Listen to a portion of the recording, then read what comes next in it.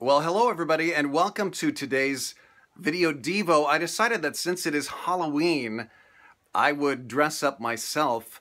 As you can clearly see, I am dressed up as a banana slug with my banana slug hat and my yellow parka forming a perfect banana slug costume. And I thought I'd just kind of go trick-or-treating here in the office, since that's where I'm recording this daily Devo today.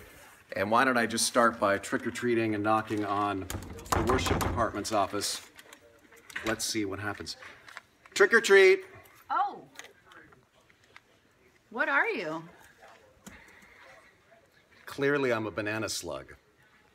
Are you sure? What else would I be? You kind of look like a bumblebee.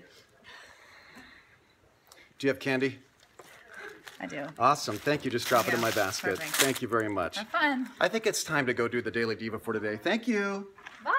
All right, let's just walk back into my office, shall we? And we will do today's Daily Devo. And I think perhaps I should take off this ridiculous Halloween hat and uh, do the Devo with you. Well, seriously, today we are in Acts chapter 15. Now, we covered this in uh, the book and in the uh, video for small groups earlier in the Acts Odyssey, but I wanted to get back to this to point out some great principles, seriously now, in Acts chapter 15 for how to discern God's will. Because this is such a, a huge question for so many Christians. How do you discover God's will for your life? God does not always drop a sign from heaven that, that tells you what to do when you are at a fork in the road. So, how do you make wise choices?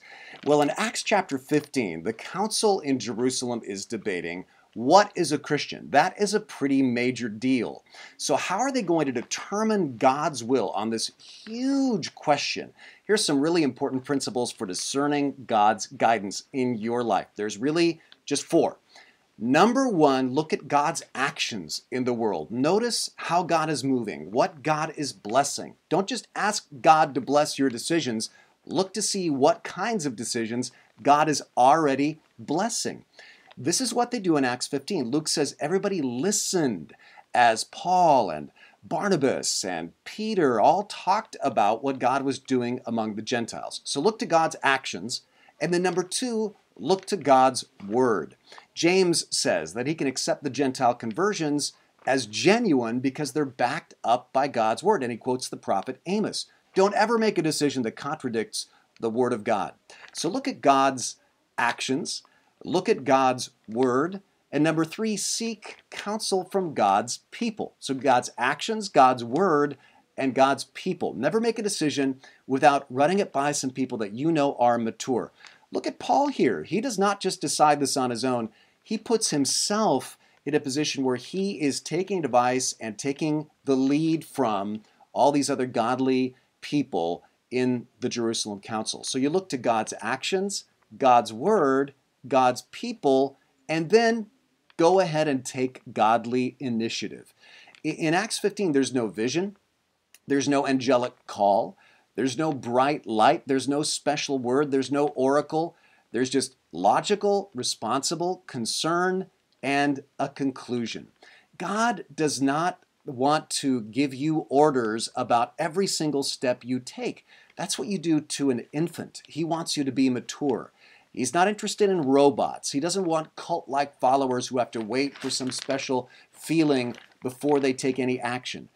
As a Christian, you are free to take initiative. You can do what's on your heart as long as it's godly and biblical and sensible. Don't wait for supernatural direction. If you see an opportunity to act in a Christian way, do it. Now, you don't have to wait for supernatural direction, but of course, you trust God to direct supernaturally when He chooses, and that is huge. You're believing in the power of the Holy Spirit to guide you when God wants to guide you, but until that point, you are going to take a look at God's action, God's word, seek counsel from God's people, and then take godly initiative. Here's the point it is always easier to steer a moving car than a parked car. So move the car, trusting that God is sovereign and He can direct you. So, how's God going to guide you today? Where is God going to guide you? The important thing is wherever you go, whatever you do, you take initiative and you stay confident of the power of the Spirit of Jesus in you.